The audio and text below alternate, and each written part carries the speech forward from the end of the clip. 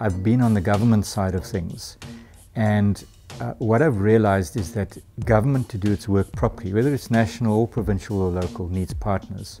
So for the last 15 years, I've been uh, involved in working with both government and other partners on how to put together partnerships so that you have a whole of society approach we decided a few years ago to form the Western Cape Economic Development Partnership. And its aim is to provide, it's, an, it's what we call an intermediary organization. It's not government, it's not a private sector lobby group, it's not a university think tank, and it's not an NGO. So, what is it? It's somewhere in the middle of those kind of forces.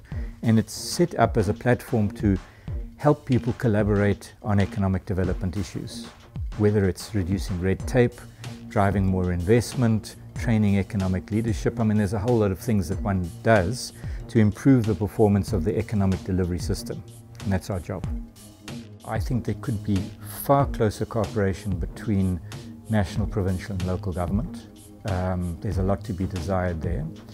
I think that business organizations tend to be relatively disjointed and disorganized, and they need to be better organized and in turn have a closer working or practical strategic working relationship with government. I think we could improve that.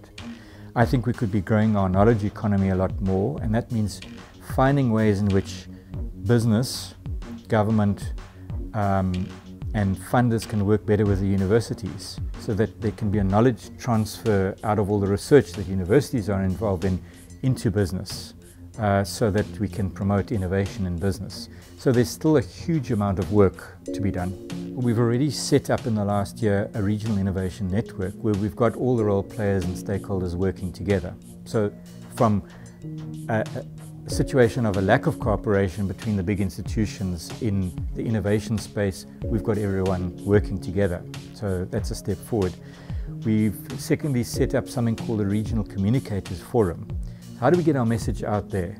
Uh, people tell a whole lot of stories about Cape Town and the Western Cape that's not necessarily in sync. And if you look at how other cities and their regions do it, they tend to look at putting together a brand family and telling a whole lot of different stories but around the same narrative. And so we've done that. We've put together a regional communicators forum over the last year.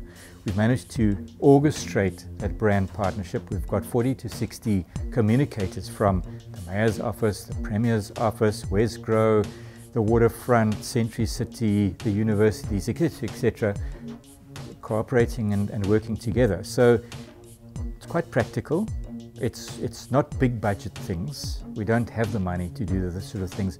But I think if you add a commitment to collaboration into everyone's mandate, in other words, do your job well and do it in collabor collaboration with other institutions, we'll add a lot of value into the economy.